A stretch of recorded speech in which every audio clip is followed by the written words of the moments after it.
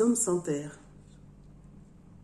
Aux enfants qui n'auront plus de père, aux femmes qui n'auront plus de mère, aux vogues misères suppliciées de notre ère, aux ossements qui n'auront plus de chair, aux quatre coins des océans sans repère, dans la boussole déréglée de la misère, aux hommes qui n'ont pas de terre, l'un seul errant de chapelet sans prière, épave aux charibes des frontières, épitaphe marine sans cimetière, homme de terre battue hier, aujourd'hui homme de pierre, sous le fouet des vagues châtiées des mers, exclu du confluent fraternel des peuples, poussé au large des sabres peuples. Terre d'Afrique, te voilà dans le sanglot, la douleur de ta mamelle plongée dans les barbelés de sel de la Méditerranée, ravageant dans la crue de tes larmes la fierté ancestrale de tes rivages, dans les pas empressés de tes enfants, marchant sous la contrainte des mers, par les vents du péril, par les tempêtes d'exil. Fuyant la laideur entretenue de ton charme, quand sifflent les sirènes de tes alarmes, englouties par le retentissant vacarme des vagues de l'Occident gendarme. Terre d'Afrique, ta tendre progéniture, à peine sortie de tes gisements de fer, c'est pas à peine sûr de tes savanes fières, à peine trempé des pluies de tes champs pétrolifères, à peine sevré du lait de tes hydrocarbures. La voilà, bouée flottante de détresse humaine, dans l'indifférence des torches européennes, biberonnée à l'écume du vent de la désolation. Ses rêves ballottés au courant de la déportation, dans les voiles de son utopie, scellés dans les fers de la Libye, un lointain mirage châtie l'horizon. Car dans la perspective des saisons, autant des saisons sèches comme des saisons de pluie, des pluies, aux rives de notre point de fuite, il n'y a pas d'humanité pour les hommes sans.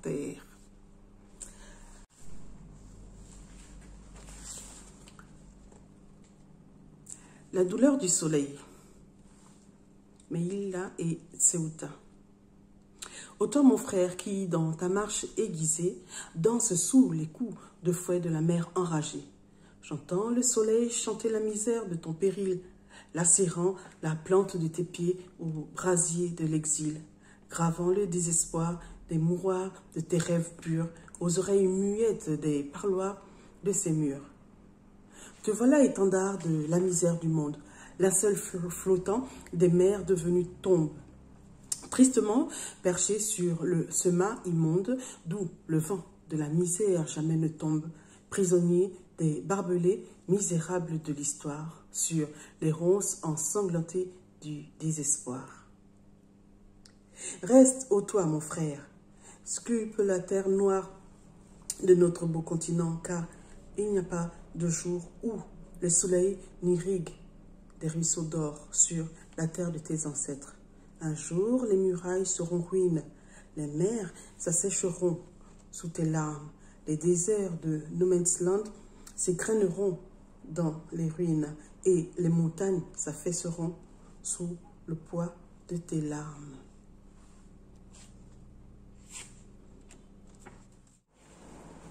Complainte à Rolilala. Mais aussi longue qu'a été ta marche, nous enjamberons les brasiers de notre temps pour faire ensemble cette humanité. Fils de l'aurore, fils des brumes des savanes, fils des rayons d'or sur les plaines, fils du vent qui chante dans la forêt, fils du fleuve qui parcourt les entrailles de la terre, fils des rosées. Umbutu, tu criais, Umbutu, tu clamais, Umbutu, tu chantais. Ton peuple, pourtant en souffrance, ton œil couvait les horizons des hommes, faisant pénitence à la place du bourreau. Tes os vieillissant au fil des jours de tes vaillants coups de pioche, quand, patiemment, tu brisais la roche, forgeant sous l'œil du soleil le métal de ta clémence, convoquant des rosées en continu sur les couleurs de notre hémoglobine.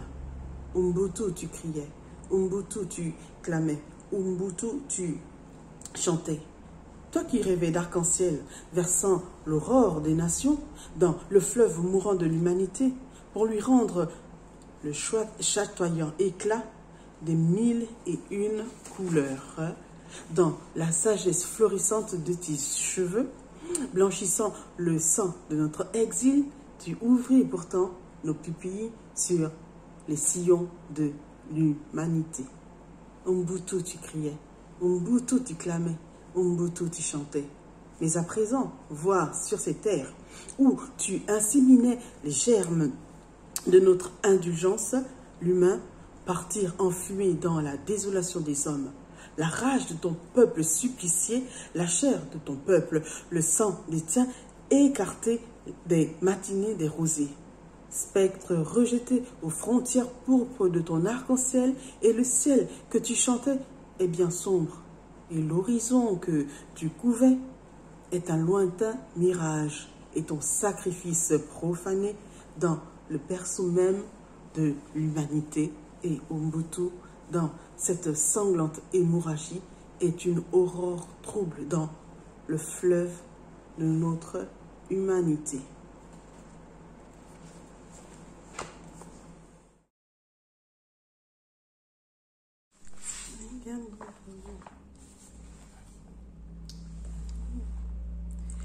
Douce extase de mes soirs.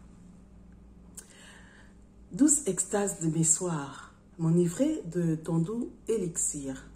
Dans le désir, brûler le de tes lèvres, murmurer au creux de ton oreille, mordre ton cou, mourir de baisers sur ton torse, et comme le diamant le plus pur, embraser ton sein de ma bouche, sniffant un rail de vergeture dans le vestige flamboyant ton corps.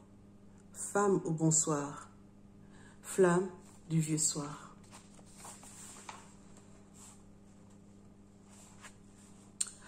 Flambée de passion. Lui faire flamber en sa bouche un esquis de ta passion, croquer dans une extase dans ton bout de péché, dans les rondeurs jaunies de tes pommes. Que tous ses sens en délit s'enivrent aux délices de ton, cœur. Extase olfactive, extase, extase gustative, extase visuelle, extase auditive, extase kinésique. Allumé de ses dents, les fours de ta peau et consumé dans l'ultime des tendresses, les joies de ta jeunesse.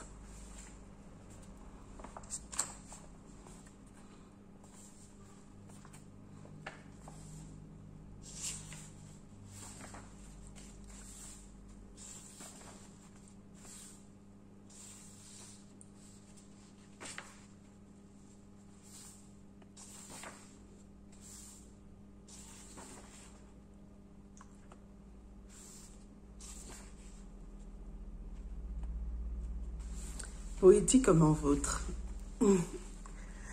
Je mourrai au, crépuscule pour arpenter les fougues de ses sourcils et renaîtrai à l'aube pour accompagner la courbe du soleil dans les flammes de votre sourire.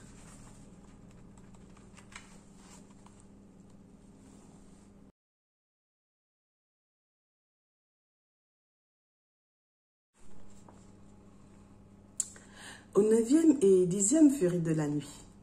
Dans le fragment de son miroir, purgatoire de minuit froide, sans dire au revoir aux prochaines matinées, prisonnière d'un tiroir à l'abondante volupté de ses chevets, dans la passion captive de son soir, sur les charnels chemins de son paradis, moi, l'explorateur de tendresse, enflammé au cachet d'un alexandrin, sur le bout de ma vie, le souffle à bout de vie, j'ai reniflé la mer sonnée d'une de ses vies et de l'extrémité de ses lèvres au thermomètre grimpant dans ma fièvre, le réverbère lorgnant à l'orée de l'aurore, d'un élan suicidaire et sans trêve, invoquant le délit des, des rêves, j'ai expiré la passion d'un poème dans les parois déchaînées de son temps. Mes veines ouvertes au tumulte de son corps mes poumons poreux à tous ces soupirs. J'y ai fait mon mouroir.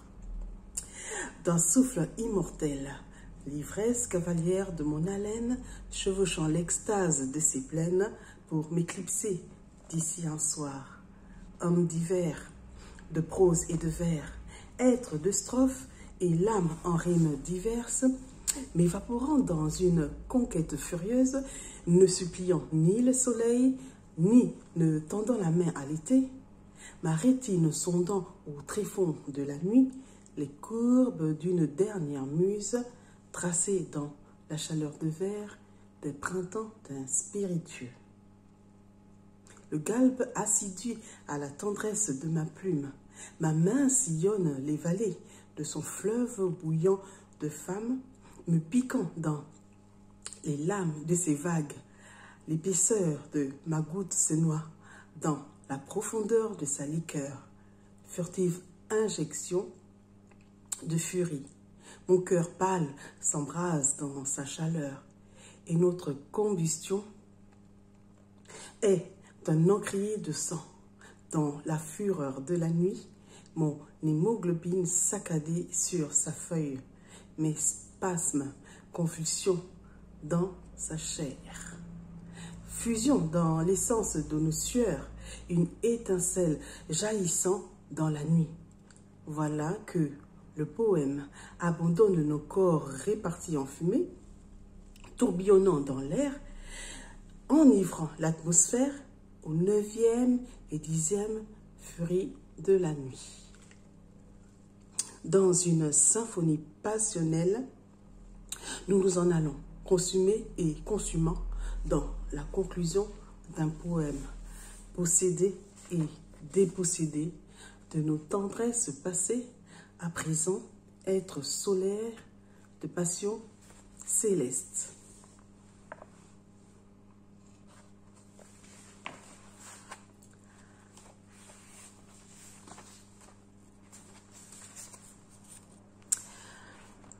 Mille va-et-vient. Toi qui vas et viens dans la danse furieuse du vent, j'aimerais dans le dos d'un ouragan, dans l'œil discret d'un cyclone, dans le cœur rugissant d'une tempête, à l'insu du chant du coq, à l'abri du premier rayon du levant, à travers les âges et le temps, nourri au feu passionnel de ton époque, arraché au monde, au crépuscule de ma vie immonde, ce baiser tendre, si délicatement à lui voué, aux fortes suées des fièvres, aux portes sans retour de la mort. Laissez-moi m'en aller sans effort. Acceptant le sacrifice de mon sort, je dirai donc adieu à tous ces ports. Et je confesserai tous mes torts, prenant la mer à la conquête de tes trésors, et je donnerai mes lèvres à incinérer incandescente épitaphe aux flammes de ta bouche, aux laves de ton corps de femme, aux sources chaudes, tapis dans les profondeurs interdites, des terres de feu de ton entrejambe, puis j'ouvrirai volontiers au laser, je m'ouvrirai volontiers au laser, perçant de ton regard de, de flamme, t'offrant mon âme Poitrine à cœur ouvert à ta soif offerte, oxygénée sur le billard, à l'étreinte charnelle de ton corps et sur la peau de ton torse, vierge et innocente, le battement saccadé de mon souffle gravera l'électrocardiogramme de mon agonie. Et sur la bride de tes cheveux, je m'y attellerai et chevaucherai dans le vent de tes mille va-et-vient sans jamais craindre les vallées de l'ombre, et je m'enfoncerai dans tes terres, rendant l'âme de ma dernière semence dans ton purgatoire. La dernière parole de ma verge mourante, jurant fidélité au corbillard de ton merveilleux sexe.